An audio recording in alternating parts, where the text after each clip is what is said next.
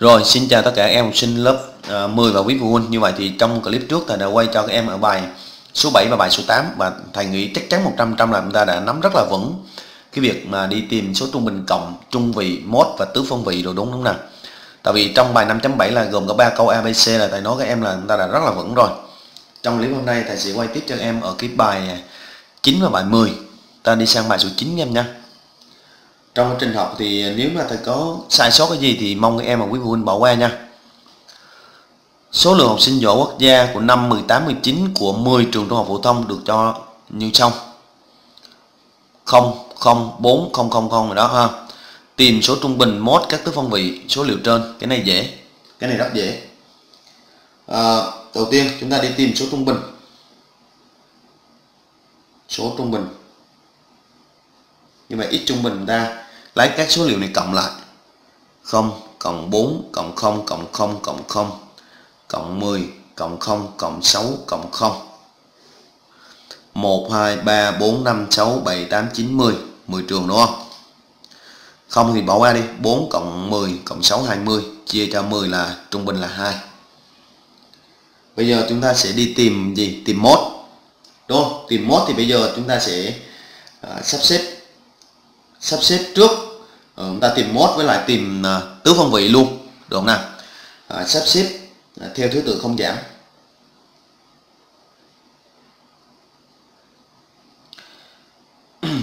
Tìm mốt thì nghĩa là cái giá trị nào có tần số lớn nhất chắc chắn ở đây nhìn vô là chúng ta sẽ thấy giá trị nào đó chính là không. Mốt chúng ta chắc chắn là bằng không luôn đó. Có đúng chưa nào? Như vậy thì ở đây chúng ta có này máy số 0 1 2 3 4 5 6 7 số 0 nha 7 số 0 1 2 3 4 5 6 7 rồi, tiếp tục là tới 4 tiếp tục là tới 6 và tiếp tục là tới 10 như vậy, mốt của chúng ta, mốt, đó chính là số 0 xuất hiện ở đây là mấy? Xuất hiện à, 7 lần dạ, giá trị cái tần số lớn nhất là 7 lần bây giờ chúng ta sẽ đi tìm tứ phân vị. Đầu tiên, đi tìm tứ phân vị, chúng ta sẽ đi tìm trung vị trước nha tứ phân vị để đi tìm tứ phân vị thì chúng ta sẽ đi tìm trung vị trung vị uh, Q2 như vậy uh, trung vị Q2 thì chúng ta sẽ đếm một trong đây là 10 n chúng ta bằng mấy? N chúng ta bằng 10 chẳng chẳng thì cái anh Q2 này sẽ lấy hai cái giá trị chính giữa chúng ta cộng lại và chia chia hai. 1 2 3 4 1 2 3 4 thì người ta lấy vị trí số mấy? Số 5 và số 6 này. Lấy hai vị trí số 5 và số 6 là ừ, gọi là chính giữa này. Số 5 và số 6 là chính giữa. Thì bằng 0 cộng 0 chia 2 thì kết quả đi bằng 0 bây giờ chúng ta sẽ đi tìm uh, uh, cái gì em tìm quy 1 nghĩa là nửa bên ờ, bên trái. Anh uh, đi tìm uh, quy 1 thì các cái số của nó là ở đây á bằng 10 thì chia đôi nha thì chia đôi mỗi bên là 5 5 số 1 2 3 4 5 số 0 này. Bên đây là hai số 0 với 3 số này. 5 số 0 này. 1 2 3 4 5 như vậy n chúng ta là bằng 5 là lễ suy ra cái quy 1 này sẽ lấy số chính giữa đây chính là số 0 đây số chính giữa này này. Cái thằng này thầy chỉ này. Hiểu chưa? Đi tìm uh, cái quy uh, quy 3 thì nửa bên trái à, bên phải là hai số 0 này với uh, 3 số kia 4 6 10 như vậy thì n chúng ta đang bằng 5 cũng là lễ suy ra cái quy 3 này. Đây. Đấy. À, lấy số chính giữa là số 4 này. Rồi xong. Câu B. Hiểu chưa? Người ta hỏi gì câu B em? Giải thích tại sao tứ phân vị thứ nhất và trung vị trùng nhau. Có phải là trung vị chúng ta là bằng không và tứ phân vị thứ nhất chúng ta bằng không. Tại sao nó trùng nhau nghe? Vì sao? Ừ. vì mật độ của mẫu số liệu tập trung hết ở nửa bên bên trái của của trung vị. Vì ở đây mật độ của mẫu số liệu ờ, tập trung hết nửa bên trái của trung vị trung vị ME đúng không? Đấy. À, mẫu số liệu bên trái. À, có số liệu ở đây là cụ thể là tới 7 số 0 à, bằng bằng không hết. Đó vậy thôi.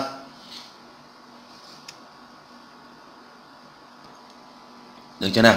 Đây, ta nhìn lại thầy một xíu ở bài 5.9 nha. Hiểu cái phần này nó nó dễ học không em, học sướng lắm. Cũng bao nhiêu quần quần quần quần đó chứ chả cái gì khó cả. Trung vị, tứ phân vị à.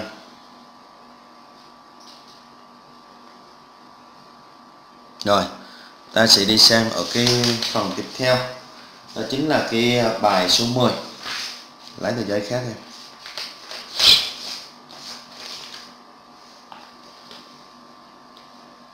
bài số 10 ta hỏi gì đây Bạn sau đây cho biết số chỗ ngồi của một số sân vận động được sử dụng trong giải bóng đá vô địch quốc gia Việt Nam 2018 số liệu gần đúng ha. Sân vận động này, Cẩm Phả, Thiên Trường, Hàng Đẩy, Thanh Hóa, Mỹ Đình, số chỗ ngồi tương ứng này.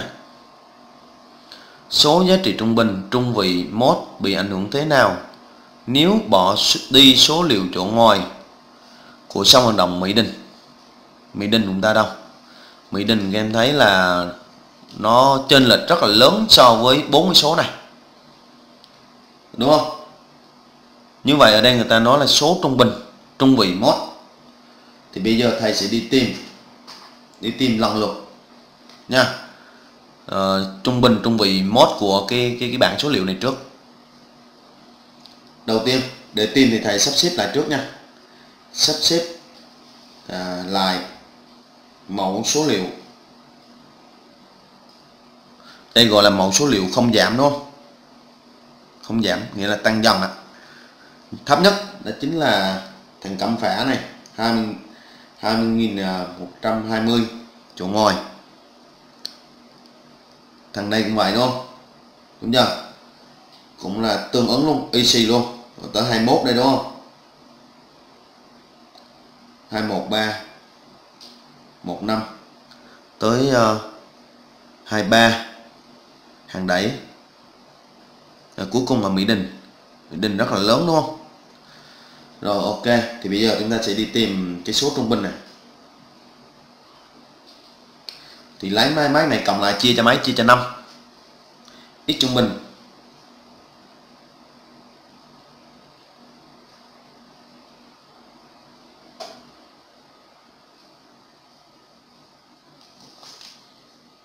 Năm bốn sáu.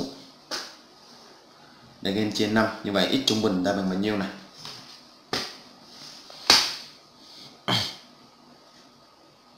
hai không, một hai không. một hai không nhé. Ở đây hai cái giống nhau nên game nhân hai này. hai một, ba một năm. hai ba, bốn không năm. ba bảy, năm bốn sáu. Chia cho năm đây anh em. Như vậy ra trung bình là 24.501,2 bây giờ tới trung vị. Đúng không? Trung vị. Ta kia xem thử có bao bao nhiêu giá trị. 1 2 3 4 5 như vậy n là bằng 5 nghĩa là lễ từ đây chúng ta suy ra ME trung vị. Trung vị chúng ta sẽ lấy cái số chính giữa sau khi chúng ta đã sắp xếp cái mẫu số liệu không giảm xong. Đây lễ thì người ta lấy số chính giữa thôi. Đây này. 1 2 3 4 5 thì cái số này chính là số chính giữa của cái dãy số liệu này. Bên hai này bên hai thì anh đây là số chính giữa là vị trí số 3 đúng không? À, như vậy lấy 2 1 3 1 5 à, bây giờ chúng ta đi tìm mốt. Mốt cụ thể là thằng này xuất hiện hai lần thì mốt của chúng ta đây chính là 20120 à, xuất hiện hai lần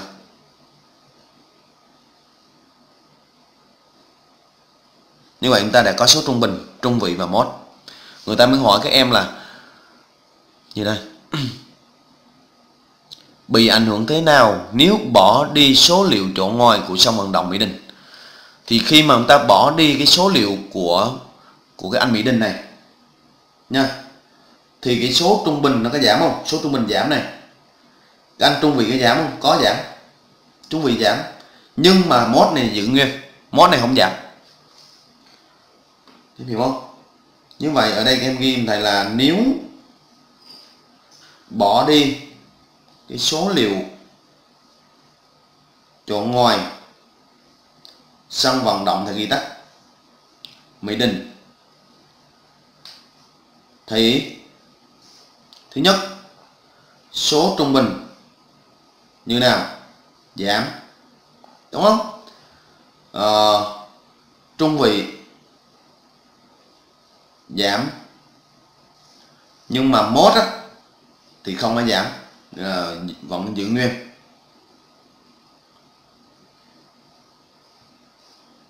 Được chưa? Đấy. hiểu không?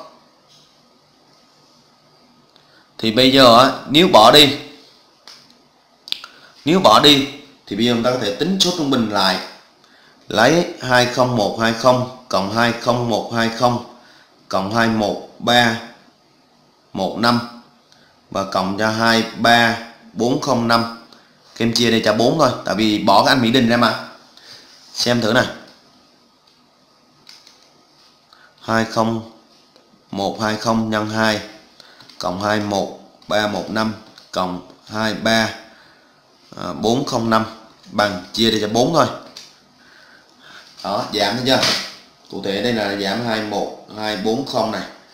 Còn cái trung vị ME nếu mà bỏ thằng này thì nó là N là trắng thì lấy hai cái số này cộng lại chia hai này hai chính số chính giữa này. Số này và số này là hai số chính giữa cộng lại chia hai các em. Tại vì nó có 4 thôi 4 là trắng thì lấy hai số chính giữa cộng lại chia hai. Nó ra được là 21 à, thành là 20120 cộng 21315 ở đây chia 2 coi thử nó giảm bao nhiêu nha.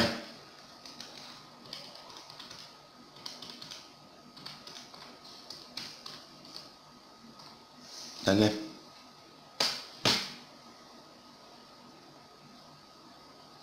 đây em ghi chỗ này là cụ thể là, cụ thể giảm là, đó.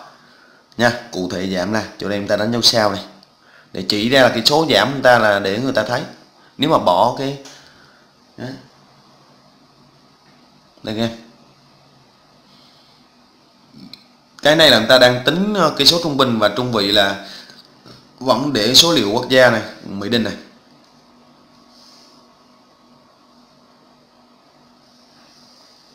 Còn mốt à, mốt à, vẫn là 20120 nha. Xong như vậy thì uh, clip hôm nay tới đây là kết thúc. Uh, trong clip sau thầy sẽ quay cho em ở bài cuối cùng nữa ở trong cái quyển sách học kỳ 1 này đó chính là bài 14 em nha. Nó còn liên quan tới cái phần tứ phân vị đồ em. Nó cũng dễ không khó đâu. Chúc em học tốt bye bye nha.